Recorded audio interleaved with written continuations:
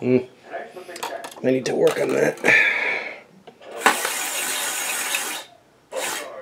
One's good overall, though.